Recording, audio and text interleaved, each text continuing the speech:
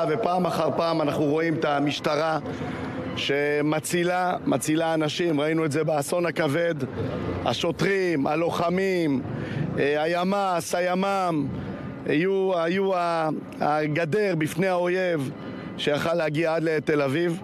האירוע הזה ממחיש עוד פעם את מה שאני אומר כל הזמן, לכו תתחמשו, אנחנו בימים האלה במשרד לביטחון לאומי עושים כמה פרויקטים, אחד זה כיתות כוננות, פתחנו יותר מ-650 כיתות כוננות בכל מקום.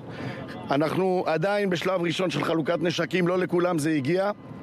המטרה זה לפתוח עוד כיתת כוננות, עוד כיתת כוננות, עוד כיתת כוננות. בימים האחרונים בירושלים הקמנו הרבה מאוד כיתות כוננות. והדבר השני זה הקלה בקריטריונים לנשיאת נשק. הורדנו את הקריטריונים, יש שם עומס גדול.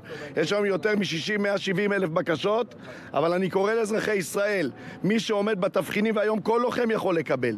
כל לוחם יכול לקבל, אפילו 20 שנה מהצבא, 20 שנה מהמילואים, זה מציל חיים. אני קצת אה, מאוכזב שהיום בממשלה לא עולות אה, נעלי הפתיחה באש שאנחנו מובילים. אני רוצה לתקן את אה, נעלי הפתיחה באש, אני רוצה לתת יותר כלים, יותר כלים לשוטרים שלנו, יותר אפשרות לשוטרים שלנו, אה, והנהלים האלה מדברים בצורה מאוד מאוד מפורשת על חסימה של צירים על ידי אנשים שחוסמים את הצבא, חוסמים את הצבא באירוע רב-זירתי. איפה היית הנהלים האלה- בעוטף עזה, בן גביר? כמה יישובים ביקרת? כמה משפחות של נרצחים, של חטופים?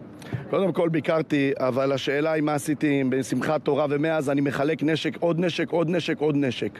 זה הפרויקט שלי, זה מה שאני רוצה, אני אענה לכם. אני... השר בן גביר, אנשים מתלוננים על פקקים. קודם כל תיתן לי רק לסיים, כי כשאני התחלתי לדבר על נשק, הרבה מאוד מכם אמרו מה הוא מציף את השוק בנשק. היום מבינים למה נשק מציל חיים.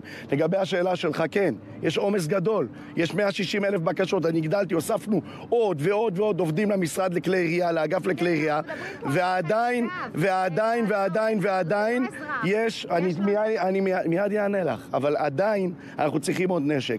אני באתי ואמרתי גם מקודם, וכדאי שתשמעו.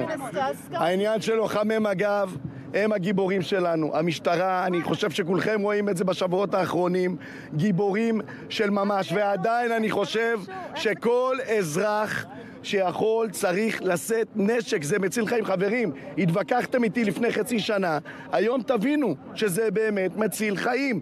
נשק פרטי יכול להציל בית, רובה סער יכול להציל בניין. איפה היית בשמחת תורה? כמה משפחות פגשת? קודם כל פגשתי, אבל אני מחלק נשק. אני פוגש אנשים שאני נותן להם נשק. פתחנו 650 כיתות כוננות.